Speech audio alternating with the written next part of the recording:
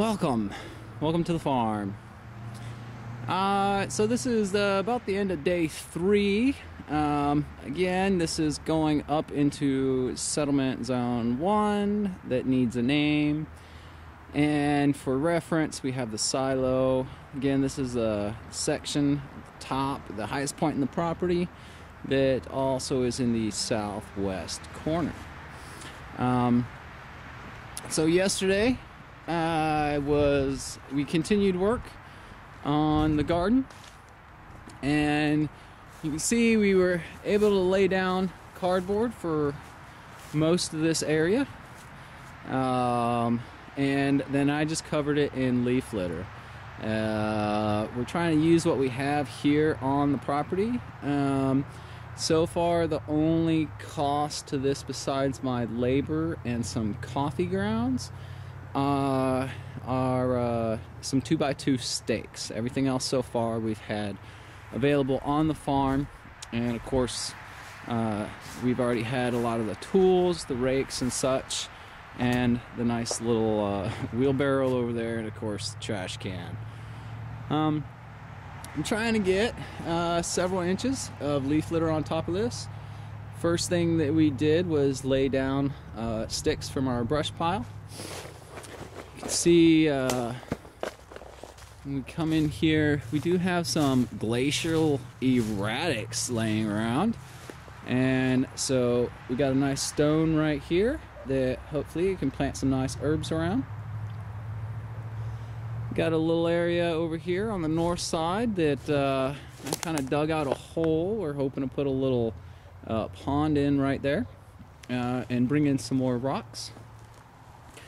And then over here is the nice little the public area. It's going to be uh, basically the public area.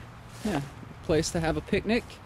Uh, yesterday I built a little, little tiny uh, rocket stove that we have here.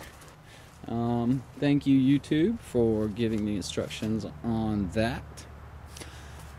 Now, to take you over to the area, the other areas that we're working on. Again, we uh, are trying to pull materials from this section. So my next project, if I get the time to do, which I, I doubt I'll get to do it, get to it before spring, but we'll be clearing out this section, sorting the lumber, and uh, piling up all the grapevines for future mulch.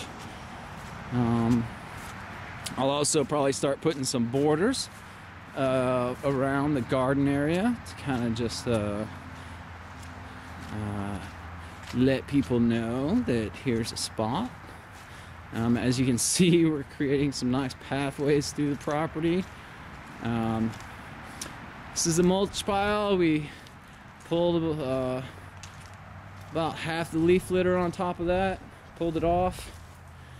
And then I decided to come over here and pull a lot of the leaves that have fallen down on here. We're hoping that this will be a, a great place for education. Um, maybe for pitching a tent. It is on a slope and on concrete, but um, those, just hopefully this will be a nice public area. I raked a lot of the leaves off, um, put it in the piles and put it in the trash can and carried it on over. So I'm cleaning up this area while using the waste and uh, to build up another section. Another interesting thing that, uh, so apparently nature, anything that falls on this cement, thank you nature, uh, she is turning into soil.